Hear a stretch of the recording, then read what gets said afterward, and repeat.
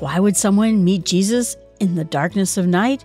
That's what we're going to talk about today in John 3. This next scene that we're going to talk about in John 3 was one of my favorites inside of the TV show The Chosen. This buildup of Nicodemus. We don't hear a lot about Nicodemus in general in the scriptures. So this is something that I think was given a story around it. But it makes some sense that Israel being a small place, Jerusalem being a small place, and Nicodemus being one of the Sanhedrin, one of it says a ruler of the Jews, with interest in him. You can tell he comes to Jesus not like some of the others come to Jesus with sarcasm or baloney exercises in scripture, but instead he comes to Jesus with honest questions. But guess what? He does so in the middle of the night. He didn't want to see Jesus in broad daylight, I think. What are people going to say? What are they going to treat him like if they see he is coming to Jesus where everyone can see it? So he has questions, and these are honest questions. And again, it wasn't a trick. I think Jesus is perfectly happy answering our questions, answering when we're being stupid. Even the stupid questions of John and James of who's going to sit at the left and who's going to be at the right might be frustrating, he answers honest questions. It's this is not a trap. So he wants to know if Jesus is from God, how are you doing all these things unless you're from God? And Jesus gives him a puzzling question. This is ESV. Truly, truly, I say to you, unless one is born again, he cannot see the kingdom of God. And Nicodemus says, Well, how can anyone be born when they're old or go back into their mother's womb again? That doesn't make any sense. I don't think Nicodemus believes that's what Jesus is inferring. I think he gets this is the higher principle.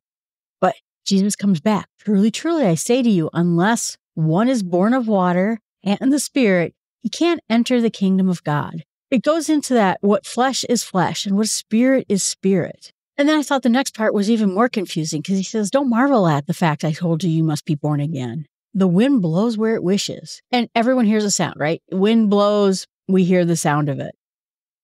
We don't know where it comes from or where it goes. We don't know the source of it or its purpose. But that's what it's like to be born of the Spirit. You hear the word of God and you can hear not where it's coming from and not where it's going, but you can hear your part of it. Nicodemus is like, well, how can that be?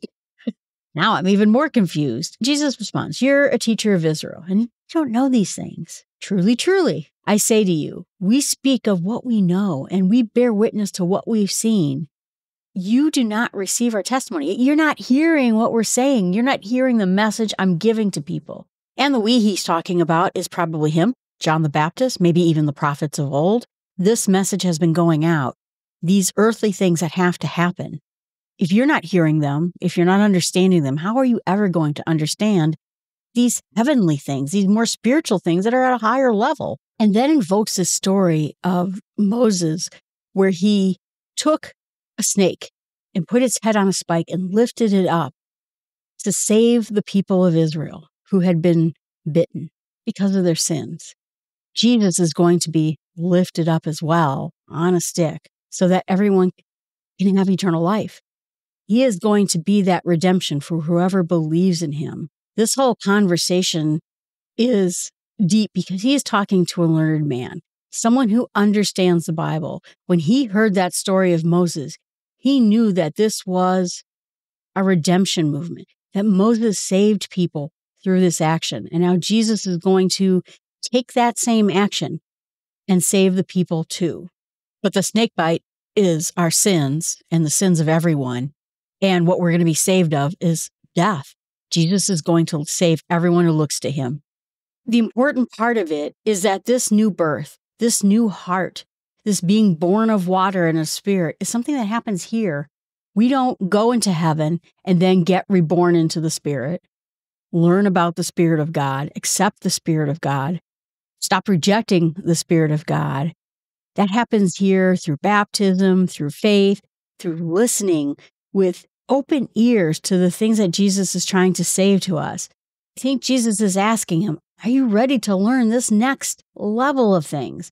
Are you ready to do what it takes so that you can move on away from these earthly things. I think that was part of the problem with the Pharisees and, and the Sanhedrin is they were so detailed about law and instead not talking about the inside spirit.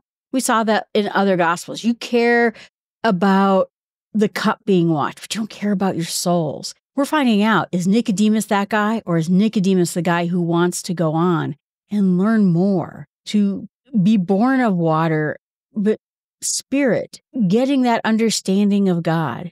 And I don't think it's difficult. The, again, Jesus talks to people where they're at. He's talking to an educated man who understands the core of the Jewish faith and where it has been for a really long time. This is a faith going on for thousands of years. And if it gets wrong, half a degree every decade, it's going to be very off by the time you get to the point of Jesus. They were let back in the land from the Babylonian exile without repenting. They are still off course right now. Criminal on the cross next to Jesus. We found out at the end of Luke. Jesus says, You're going to be with me in heaven tomorrow. Nothing happened. He wasn't baptized. He didn't have to perform any special actions. He also probably never got some formal education, but it was that belief. He was suddenly born of the Spirit because of what happened in his soul, not because of what happened in his actions, his words, his deed. The Holy Spirit and Jesus saved him, not his actions, but the actions of Jesus, the actions of God, his redemption plan. That's how we're saved, and not by our own works or efforts. I think that concept to the temple structure would have been the hardest of all. We can't control it. My own closest friends are control freaks. They love controlling everything. Structure of the temple has been going on for hundreds of years trying to nail this down get it so they're doing exactly the right thing, exactly the right way, and then living their lives otherwise so they're enjoying themselves. They want control. Boy, isn't that confusing? And they're not going to be satisfied by this because they have no control. This is a gift from God. And what the People Bible commentary said is the promise belongs to everyone. No one who believes is excluded.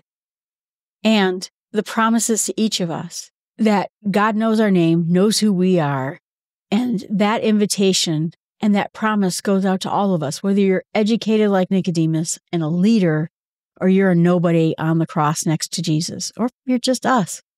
Now comes the discussion of the most beloved chapter, I think, of all the Bible. Everyone loves this chapter because they can remember it. Many people have this memorized. I did Small Steps with God podcast, episode 39 and 40, from Max Lucado's book, just talking about this passage. You'll know it.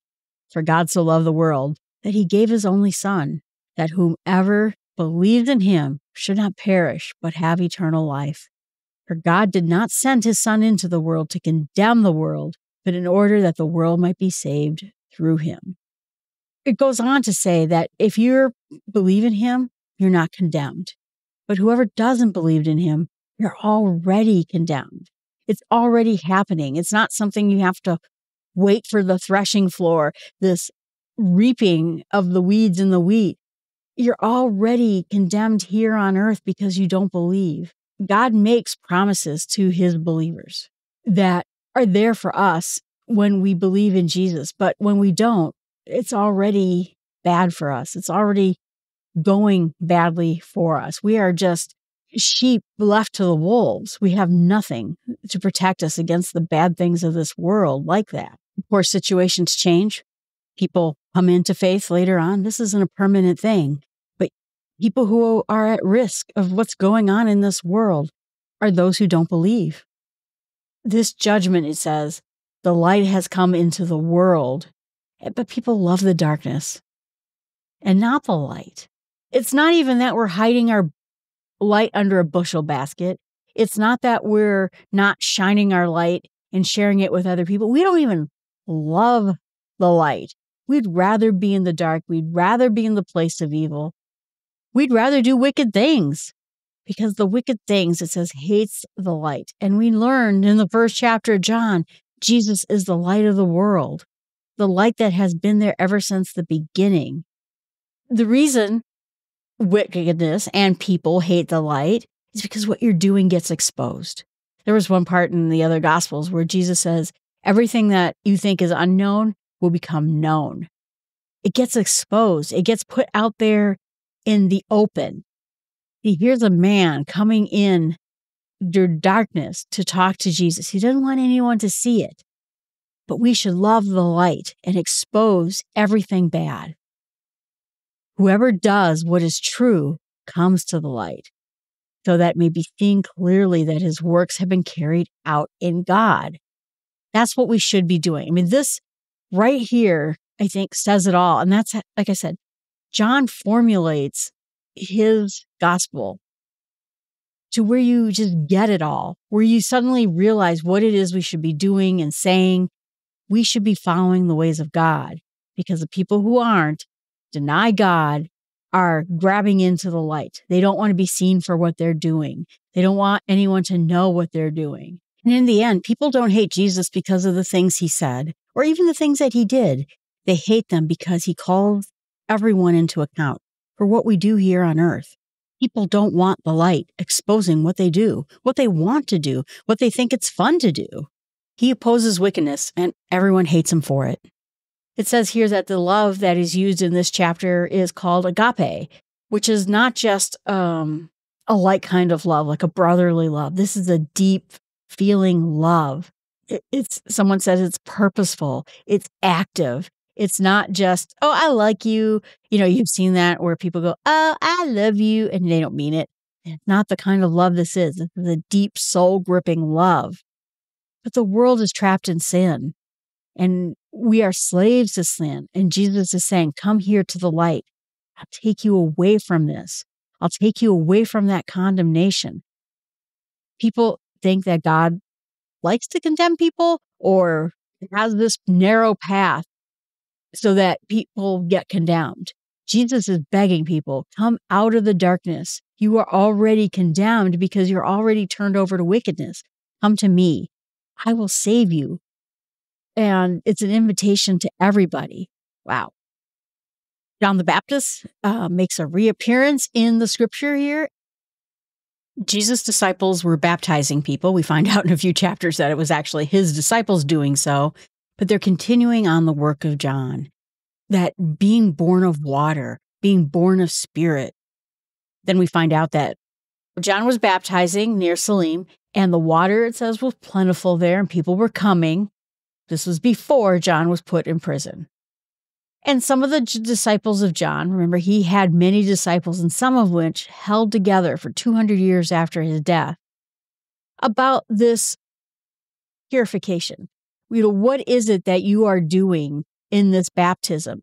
And John answers, a person cannot receive even one thing unless it's given from heaven. This is not my doing. This is not Earth's doing. This isn't the water's doing. This is a doing from God Himself in heaven. You bear witness to me and the things I've said, but I'm not the Christ. I'm the person who has been sent before Him to make way the straight, to cry out in the desert, to announce His coming. He is announcing Jesus, the one who is friend of the bridegroom. That's John stands here and hears him, rejoices at the at the bridegroom's voice, the joy is mine because I know what is about to come. I'm the friend of the bridegroom. I'm excited for my friends, you know, kind of thing. And it says that he, meaning Jesus, must increase and I must decrease. He who comes from above is above all of us, but here on earth belongs to earth. I'm from earth. I speak of earthly ways, but the one who's coming from heaven is going to it says, bear witness, is going to tell you what he has seen and heard. And no one yet has received his testimony, but whoever does and sets his seal to this, that God is true, God has sent these words, and he, it says, he gives his spirit without measure. Uh, like you got your portion of spirit, and now someone else is going to get, there is no limits to this portion of the spirit. It is unlimited. And that's where you want to set. You're listening to God's testimony. You want to know the Father loves Jesus. All things were given into his hands, and whoever believes in his Son has eternal life. And whoever doesn't obey the Son, Jesus, shall not see life, but wrath of God remains on him.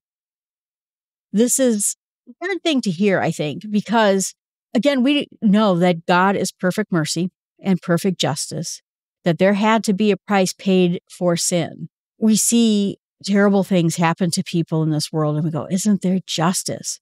Where's the justice for these people who have been hurt, murdered, these horrible things? We ask for justice, but we also ask for mercy. We are at the throat of evil. Evil surrounds us. We are in this darkness. We love the darkness. I mean, how many people enjoy their sins, take pride in their sins, hope that their sins lead them to a fun and exciting life? It's not what God wants us to do. He wants us to rebuke the darkness, come away from our sins, and come towards Him. He's not doing it for His good, He's doing it for our good. And He wants us to know the best thing we can do is come to Him, believe in Him, and accept the gifts of the Holy Spirit of eternal life that God gives us. And that ends John 3 boy, again, what am I not going to meditate about this week? But what I want to meditate about are there things that I seek from Jesus in the dark that I don't feel comfortable being out in the light with aspects of my faith. I want to be uh, in the light, in the daytime, follower of Jesus.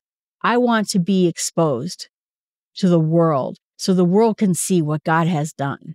What I'm going to pray about is that He gives me that bold spirit so that I can do my things in the light and be bold in my faith in Christ and not cling to the dark, not do things in the darkness. Oof. And what I'm going to share with other people is this idea that God so loved the world that he gave his only son so that we may believe and be saved. That's what we should share with everybody. That's why that dude back in the football game days would just sit there at the right ticket spot, holding up a John 3:16 sign. Right there, it's the whole essence of everything we should know. Hi, everyone. Thanks so much. I appreciate you listening to the podcast. Please remember to subscribe and tell people about this podcast. I would love to eventually build a whole community around this. It is still a fairly young podcast, but if we can get biblical discussions going, I would love to see that.